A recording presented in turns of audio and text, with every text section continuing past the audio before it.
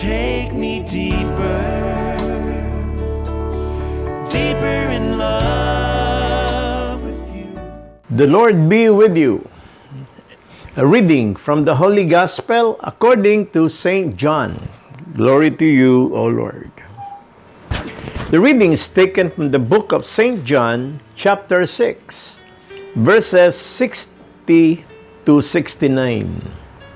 On hearing it, many of his disciples said, This is hard teaching. Who can accept it? Aware that his disciples were grumbling about this, Jesus said to them, Does this offend you? Then what if you see the Son of Man ascend to where he was before? The Spirit gives life. The flesh counts for nothing. The words I have spoken to you, they are full of the Spirit and life. Yet there are some of you who do not believe. For Jesus had known from the beginning which of them did not believe and who would betray him. He went on to say, This is why I told you that no one can come to me unless the Father has enabled them. From this time, many of his disciples turned back and no longer followed him. Jesus again said, You do not want to live too, do you? Simon Peter answered him, Lord, to whom shall we go? You have the words of eternal life. We have come to believe and to know that you are the Holy One of God. The Gospel of the Lord. Praise to you, Lord Jesus Christ. Hallelujah.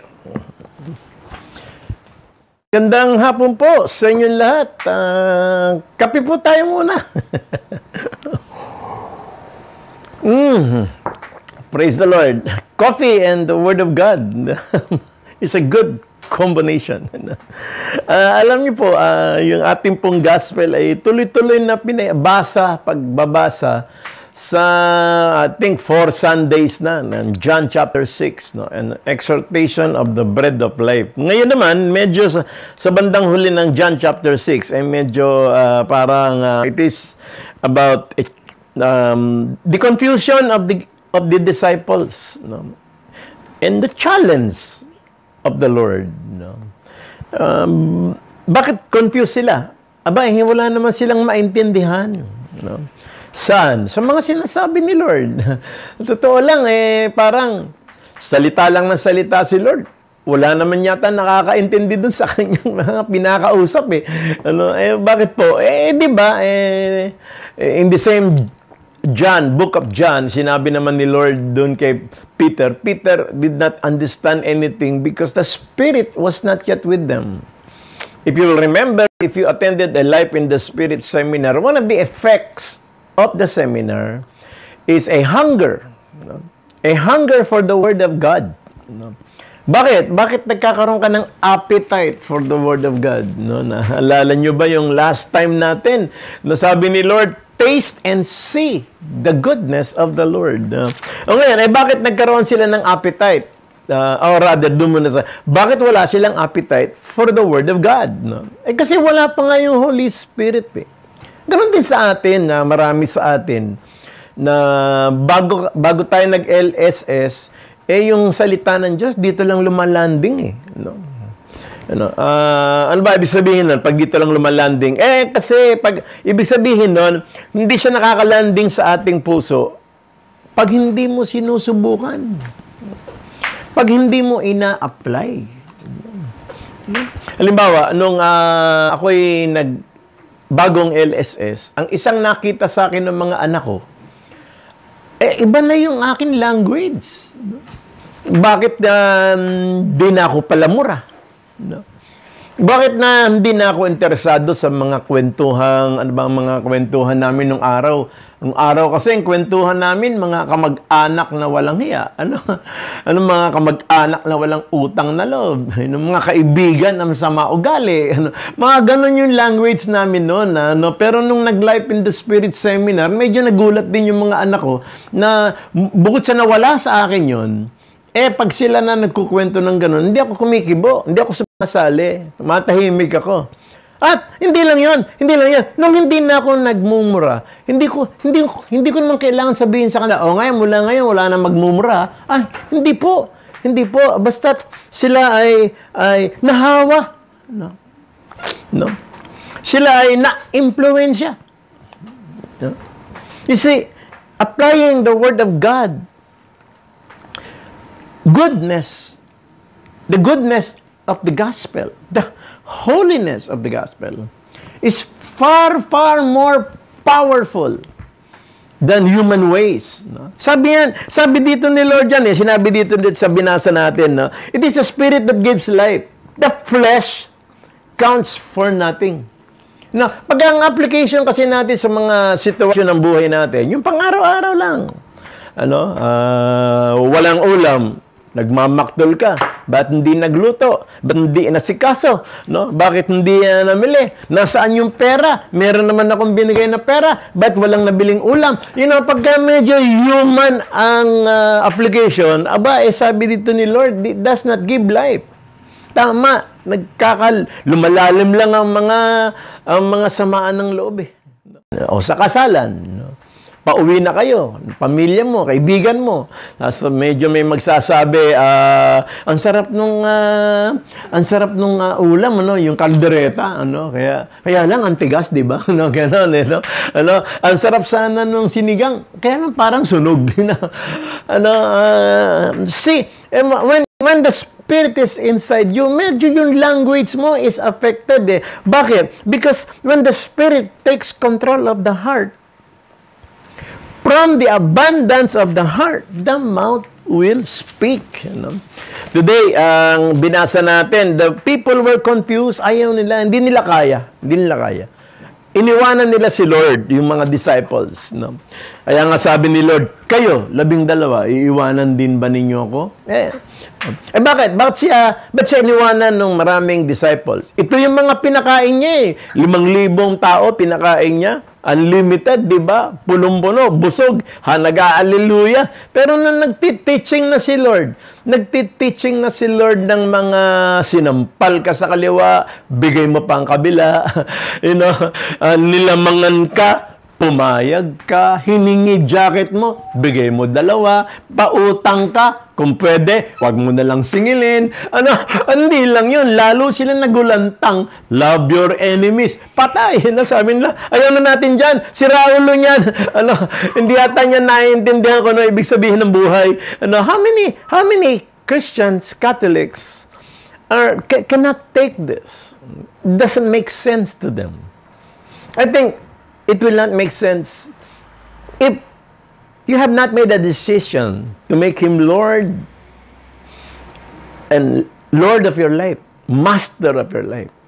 Kasi only when you make Him Lord and Master, then He takes over. He takes control. The Holy Spirit controls your heart. And these things that you will hear from Jesus in the gospel will be very attractive to you, will be very meaningful. You, you, you, you discover that this Word of God, sabi, sabi kasi ni Peter, Lord, um, nung tinanong ni Lord, uh, kayo, liiwan niyo ba ako? Sabi ni Peter, paano ka namin iiwan? Nasa iyo yung, uh, nasa iyo ang words of eternal life. Sabi ni Peter, paano ka namin iiwan? No? Eh, yun ang sinasabi ko. Ang taong sinusubukan ng salita ng Diyos, nadidiscover mo yung salita ng Diyos pag in-apply mo, fulfills a certain longing. Fulfills, fills up an emptiness. Kasi kung minsan tayo nagde-determine ng emptiness. Ang emptiness sa atin, kulang sa pansin. Ang emptiness sa atin, walang pera. Ang emptiness sa atin, pangarap mo, hindi makuha. Ang emptiness, yung hiningi ka, hindi binigay. Yun ang emptiness eh. Nasaktan ka, emptiness. Hindi, hindi. Applying the Spirit, applying the Word of God, those kind of emptiness can bring you fullness. Di ba? Wala kang pera. Aba, if, uh, if that walang pera will uh, bring forth humility. A permanent character of humility. Yun na yung let the poor say, I am rich. Ano? Yun na yun, di ba? Ah, ano pa, um, ah, kaming mag-asawa, lagi nag-aaway. Pero nung na, na, sinubukan kong apply yun yung, yung word of God na, teka muna, ah, pwede ko naman siyang unawain. Pwede ko naman, masaktan ako, bigay ko pa yung kabila. Pwede, pwede naman akong pumayag. Pwede ko naman sabihin, I deserve this. Pwede ko naman sabihin, teka muna, ako yata ang dapat mabago ah. Ah, Hallelujah. Then, then nagugulat ka, eh, there is, the, something in you is being filled up. No? There is, ah, hallelujah, there is the vacuum somewhere, di ba? Yung confusion mo because there's a vacuum, you know, di ka sigurado na kinabukasan, di ka sigurado kung ah, galit ba sa'yo yung Diyos, bakit hindi answered ang prayers, ano, all, pagka nafe-fill up ito, na, nafe-fill up yung vacuum ng salita ng Diyos, hallelujah, Nagugulat ka, you are fulfilled. Parang busog ka, pero ang daming kulang, pero bakit busog? Yan yata yung let the poor say, I am rich. Ano? Bakit parang ganon, di ba? Ano? Let the weak say, I am strong. Ano? Sa, sa, sa paningin mo, kahinaan yun eh. Hindi ka lumaban. Di ba kahinaan yun?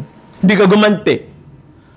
Kahinaan yun. Weakness ang tingin natin doon. But sabi ni Lord, according to the flesh, according to the human nature, weak. Yung hindi ka gumante is a strength.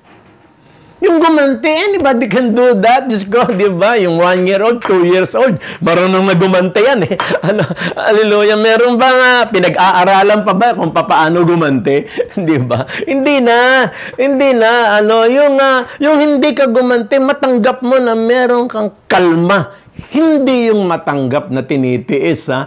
hindi naman. Ano, hindi yung matanggap na hindi ka kumikibo. Yung pala, eh, ano, eh, parang ang sabi mo sa sarili mo, ayaw mo na, ganyan ka naman talaga eh. Ano pa magagawa ko? Eh, eh, iba, iba yan. Iba yan, ano? Iba naman, iba, iba yun. Iba yung, uh, iba yung kumisa may nangyari sa buhay mo. Sabi mo, eh, ano pa bang, uh, ano pa bang magagawa ko? Eh, di, thy will be done na. Eh, nangyari na eh. hindi, hindi rin ganun yon Hallelujah. Yung will ni Lord, hinahanap yon Hindi yun pag dumating. O, sige na nga, tanggapin na lang ang will ni Lord. Ah, hindi. Sabi ni Lord, seek first the kingdom of God.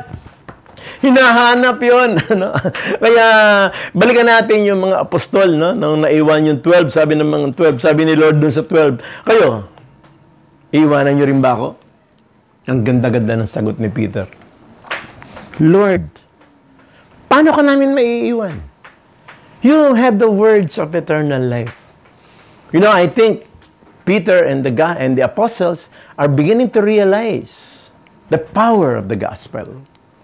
Are beginning to realize the miracle that the gospel can do in your character, in your life. Paano ba, paano ko ba nasasabi na yung aking pamilya ngayon ay ligtas na talaga? Eh kasi na-apply-apply namin pare-pareho yung gospel. Alam niyo yung mga anak ko po, hindi sila active eh. Kaya medyo malungkot din ako na hindi sila active sa renewal eh. Ano, pero uh, hallelujah, kuha nila yung language ko. Yung hindi na, wala nang siraan. Naririnig ko na sa kanila ng, hayaan mo na yon ganun lang yon Ano? Ang dami ko nang naririnig sa kanila eh. Huwag nyo nang singilin. Pera lang yan. Naririnig ko na sa kanila yan. Oh my God, dagdagan naman natin yung ating ibibigay dito. Naririnig ko sa mga anak ko yan. Diyos ko, I am, they are not active. But because I do not preach the Word of God by mouth, they see the Word of God in my life. Surely nakaranas ka na yan. Ikaw pa, nag-Life in the Spirit seminar ka eh. You know what I'm talking about. Bring home the gospel. You bring home the church. Go to Mass, receive the Eucharist, the bread of life. Then when you go home, you establish the church. The church is built in your family. And so, my dear brothers and sisters, sabi nila, sabi ng mga apostol, kanina pa kami lalapit? Kanino kami pupunta, Lord? Ayan na nga eh. Alam mo, uh, meron pinapahiwatig dito yung mga apostol eh. Pag hindi kami sumunod sa iyo, Lord, saan kami susunod? Don't forget that. If you have not yet decided to follow Jesus, mind you, kanina pa natin pinag-uusapan, following Jesus is obeying the gospel. Kala kasi ng mga tao, pag sinabing follower of Christ, yung mga nagsiserve sa simbahan, nagsiserve sa community, of course, those are ways of following the Lord. Pero teka muna, these are not the things that will bring fulfillment. No? What will bring, bring fulfillment is when you serve and in the service, you apply the gospel. Kalimutan mo sarili mo. Hindi ka naniningil hindi ka nag-aabang. Hindi mo sinusukat yung lakas mo. Hindi mo sinusukat ang blessing sa pera. Ano? Mahirap yan eh. Serve ka ng serve. Tapos ngayon, uh, nasa, uh, medyo ang uh, ating uh, measurement of reward is, ay material pa rin. Is that what service can bring? Mahirap yon Magiging uh, yung panganay na anak sa prodigal son story. Yan yun eh. Serve ng serve, pero may inaabangan naman pala serve ng serve, namumuhunan lang pala kasi meron siyang hinihingi, meron siyang gustong mangyari sa buhay niya. Ano? Kailangan kasi when you serve, apply the gospel, sabi ni Lord. When you serve, be the servant of all. When you serve, forget yourself. ano? Hallelujah. Service is a great, great, great opportunity to forget yourself. Serve, die to yourself. Because only when you die, Jesus will live. Sabi niya ngayon, the flesh counts for nothing. Kaya, if the flesh becomes important, ano bang flesh? Human nature. Ano ba human nature? Sa Tagalog, tao lang naman ako eh. Yan. Bigyan mo ng halaga yan. Bigyan mo ng halaga. Tao lang naman ako. Di ba dapat lang ako magtampo? Oh, ay, wala na, wala na. Wala na. Tao lang naman ako, nasaktan ako, eh di dapat ako magtanim. Uh, well, okay lang, no? I will understand that. Pare-pareho naman tayong galing diyan. Pero uh, teka muna, lalakas yung human nature. Hindi hindi mangyayari sabi ni Lord dito. The human nature must account for nothing. Ano? Hindi, hindi pwede. Ano? Eh, tao lang naman ako eh. Bakit ako na una dito? Bakit siya na promote? Hallelujah. Okay, walang problema rin. Wala, 'di ba? Pero teka muna, teka muna. Ang pinag-uusapan natin dito is is your service killing you, making you die, destroying the you? What you? The human nature. If the service is an avenue for you to experience difficulty and yet be grateful Oh my God! Wow! Di ba? Hallelujah! Ano mo, uh, kung nakakabalita po kayo ngayon sa mga airport natin, ang dami-daming delayed, ang dami-daming stranded, no? Eh, uh, napasabak pa naman kami ngayon ng mga tatlong biyahe ata kami ngayon eh, ng, uh, ng kasalukuyang may ganyan nga ang problema sa airport, no? Yung una namin biyahe, ibinaba kami sa Clark Air Base, no? Naghintay kami rin matagal bago kami binalik. No? Yung pangalawang biyahe kong isa ay naghintay ako ng mga 4 hours to 5 hours. No? Um, but uh, hallelujah, you know, the beauty of it all is that there is difficulty and you do not complain. There is some kind of a joy that the difficulty is giving giving meaning to your service. A real meaning. Kasi mahirap. Kasi nasaktan ka. Kasi hindi ka nag-enjoy.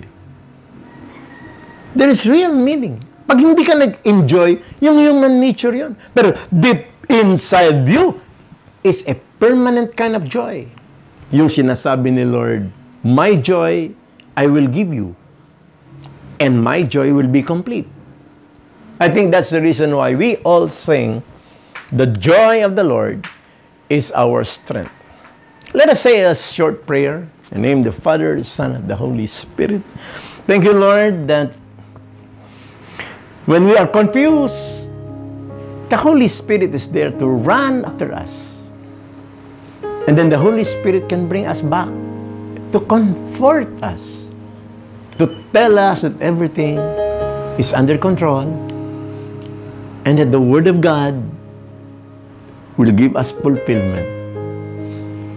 Allow us, Lord, to say, Where can we go, Jesus? You have the words of eternal life. Glory be to the Father, to the Son, and to the Holy Spirit, as it was in the beginnings, now, never shall be, world without end. Amen. Mary, help of Christians, pray for us. In the name of the Father, the Son, and the Holy Spirit. Amen. Take me deeper, deeper in love with you. Jesus, hold me close in